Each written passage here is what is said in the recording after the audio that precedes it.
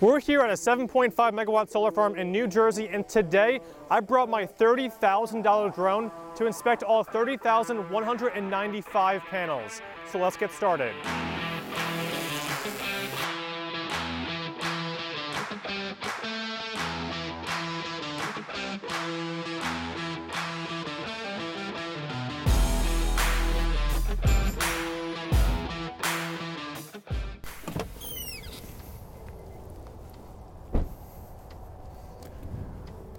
Today we brought all of our drone gear to do a maintenance inspection on this over 10 year old solar farm that was built back in 2011. Recently there's been lots of combiner and inverter box issues going on here where large sections of the site are actually uh, going offline. So we were brought in by a commercial solar company to help do this inspection and pinpoint the areas of the site that are actually are having these issues. It is really important to actually monitor these energy assets usually once or twice a year to help make sure that nothing falls into disrepair and if there are any issues they can easily be fixed. Uh, so what do you say? Let's go in and start setting up all our stuff.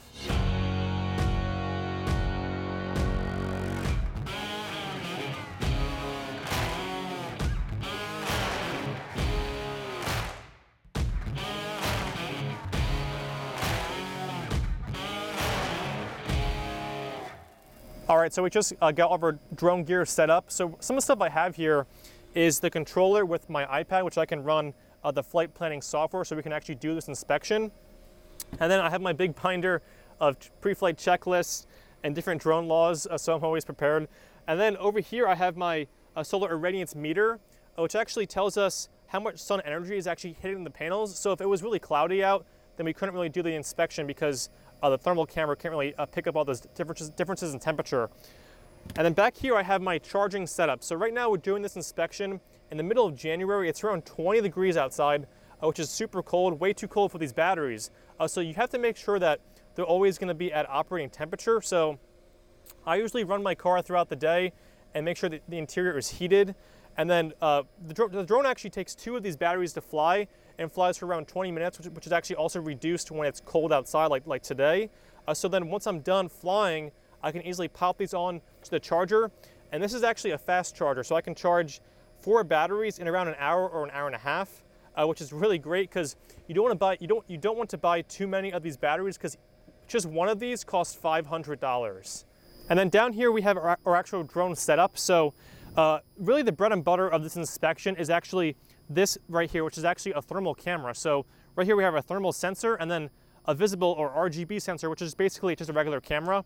And so what this does when the drone actually flies over these panels, it can see differences in temperature of a panel that's you know not operating correctly or has some defects in it to one that's actually uh, producing efficiently. Uh, so you can actually see these differences um, within the entire farm and actually be able to pinpoint the areas that are having these issues. And so a lot of the issues that we're actually looking for include cell defects, if there's cracking on a module, if there's delamination, if there's string outages, diode um, faults, um, all these types of um, defects, the thermal camera can easily uh, locate these and you can actually then send out, uh, say like a maintenance team to go fix these issues. So we're about to start flying and this is actually our flight plan. So you can see this uh, satellite photo of all these, uh, with all the solar ro uh, rows here. And these green lines that you see around here, that's actually like where the drone will be flying. So what it's gonna do is kind of map out all throughout the entire rows of panels. And it's gonna take a photo, which I'll get to in a second, around uh, every 1.5 seconds. So I'm just gonna check to make sure all my settings are correct. And if you actually are interested in knowing more about how to do the inspection and use the flight planning software, I'll link up in the description a video that we have that's a complete tutorial of how to actually uh, plan out this mission. All right, so I just did all my pre-flight checklists. And now let's go start, start the fly.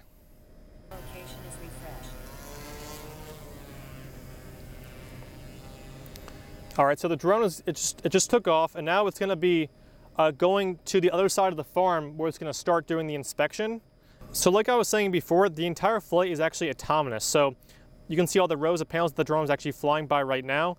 And so the, the, you can see over here the shutter, every 1.5 seconds, it's gonna take a photo and it actually, it actually just finished one of its rows uh, passes. Uh, we call these, the green lines are passes. Uh, so now it's gonna tra transition uh, down and now it's gonna go to the right and start taking photos of the next rows. So before they had drones to actually do this inspection, there was a few different ways that they would manually do this. So one of them being something called IV curve tracing or electrical testing, where basically some technicians uh, would go out throughout the entire site and plug into what's called a string. So these panels are actually strung in a series of multiple panels. So at this site in particular, it's uh, 11 panels and one string. So that means if there was some kind of fuse that blew or if there was some kind of cable that was broken, potentially all 11 panels could go offline. So a good way I like to think about it is if you had Christmas lights and you know how one, like one of the bulbs breaks and the entire rest of the bulbs don't work anymore, that's basically what's happening with these strings. So the problem is how long this would actually take for the technicians to actually do this. So at this site in particular, there's 2,745 strings. Uh, so that means they have to unplug and plug back in that many times uh, to inspect the entire site, which you know takes a couple gu- couple guys sometimes a few weeks to do that. One other method is they actually would have a handheld thermal camera and individually uh, scan each individual panel. So you know unlike the drone, which can you know see all these panels at one time with the thermal camera, they would be out there uh, just one at a time and going through every single panel. All right, so we're making some good progress. We just finished one of the passes and I, I stopped it because uh, the battery is getting pretty low. But I did want to point out there's a lot of these like cell defects you can actually see um, on a ton of these panels, which is, you know, makes sense because this site is over, like I said, back over 10 years old, these modules. So over all that time of weather impacts and them um, operating for that long, uh, there can certainly be a lot of these problems. But uh, we're gonna, I'm gonna bring this drone back and we're gonna bring it in for a landing and switch out the batteries.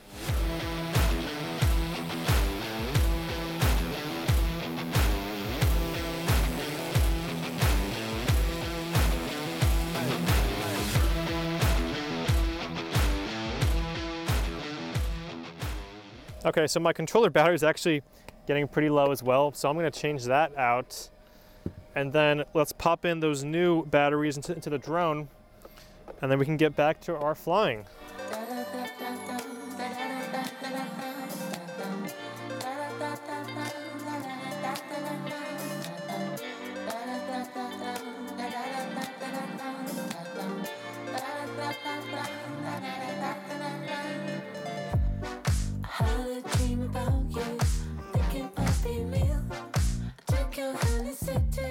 Okay, so we're making some good progress here. We actually moved um, our setup to a different location on the farm to get a better um, view of the drone flying. Uh, so uh, we're really seeing, again, like just a ton of different cell defects, some shading and some string outages on this side of the farm. Really this drone technology is just so exciting. And you know, this these inspections, you know, only actually started happening a couple of years ago. That this was uh, really becoming mainstream. And it's just amazing to see how much money and time this is saving for um, solar companies, asset owners, and it's just I'm excited for the future of you know using these thermal drones and cameras uh, to inspect these solar farms. All right, so we just finished the flight, and now I'm going to go walk you out there and just give you some examples of some of the anomalies we're actually uh, picking up here.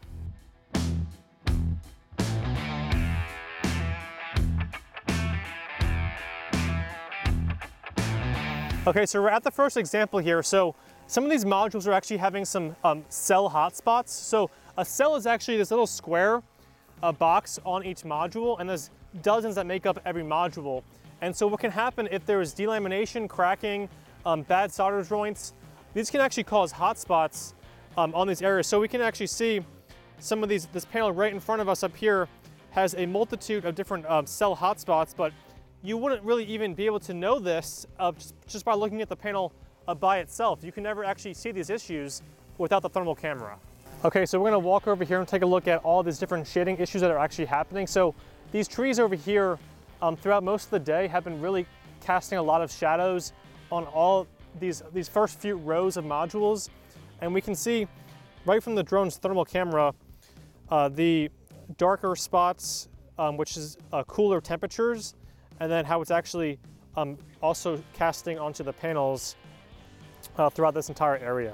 Not only do these issues actually cause you know production loss, but we can see at some of these modules right here um, on the thermal camera view that there's actually some cell hotspots occurring on here because of the shade. So this can really happen. I'm getting some more internal resistance. And over time, if there's consistent shade on modules, uh, this can sometimes cause a premature failure. So up here we actually have a cracked module. So the surface glass of the panel does actually have cracks all over it. And so you don't need a drone or a thermal camera to really see that there's an issue here, uh, but you can still definitely easily point these out without having to walk uh, through all these rows and look through every single panel.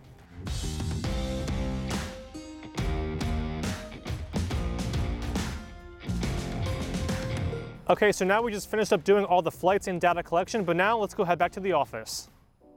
Okay, so it's been about a week later and our inspection report is now ready to be reviewed, but before we dive into that, uh, let's take a quick recap of everything that did happen during the inspection. So in total, flying the site took one and a half work days, and throughout that time, we had clear skies, completely sunny, high solar, solar irradiance, and very low wind. Within that time, we took 6,264 thermal and RGB photos, and then we uploaded all these pictures to our software partner for this project, uh, who are good friends of ours, Raptor Maps. And using their AI machine learning technology, they analyzed all the pictures and generated this report, which then details the exact issues and where they're located. So what do you say? Let's go take a look at the findings.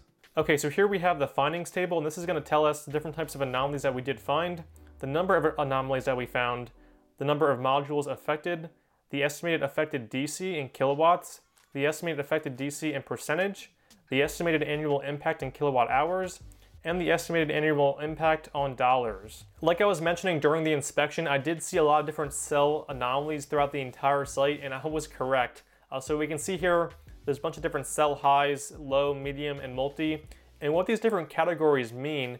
So high would be a higher temperature hotspot, and low would be a lower temperature hotspot. So the high ones would have higher priority over the low temperature hotspots because they can potentially cause a fire. And then going into the multis, this is multiple hotspots on the same module. And then we can see like something like cell multi low.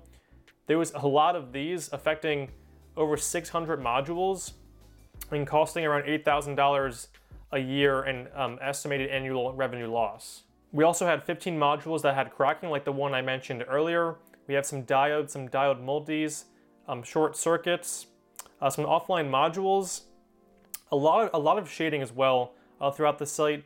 And then a, the big one is uh, we had 13 string outages. So uh, like I was uh, showing you before, these were strung in a series of 11 panels. Uh, so we had 13 entire strings that were offline. Now looking at the totals, we had over a thousand anomalies found throughout the entire site. Almost 2,000 modules that were affected, which means almost one out of every 15 panels had an issue. So all those issues are affecting around 238 kilowatts, which is also re represented as a percentage of uh, a 2.80 of the site's entire power. And then we have the annual impact in kilowatt hours as well as dollars, which ended up being around $21,000 in revenue loss per year at a power purchase agreement rate of 0.06 cents per kilowatt hour.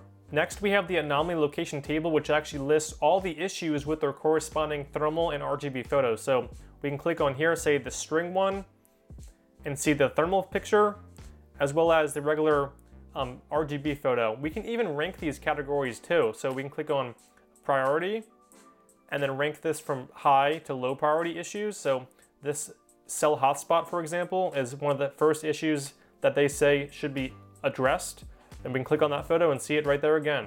Lastly, we have the interactive site map, which is probably one of the coolest tools out there. Uh, so this actually takes your site drawings and then overlays all the issues uh, that were found. So then what you can do is actually zoom in on these and they even use your, um, your numbering scheme uh, that you already have determined and used for your own O&M team.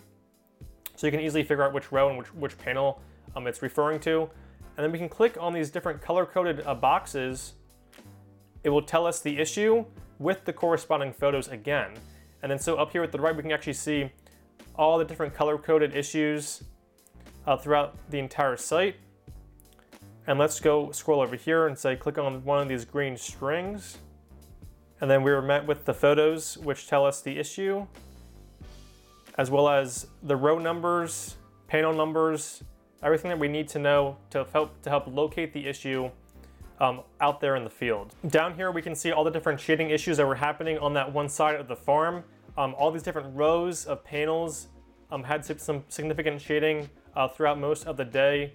And scrolling over here, let's go take a look at some diode issues. So I'm gonna click on this pink box, and then we can click on the corresponding thermal picture and see, you can clearly see uh, the issue on that as well. So as you can see, this is a very straightforward and easy to use map, but with very comprehensive data uh, to be able to find all these issues and uh, really visualize them throughout the entire site.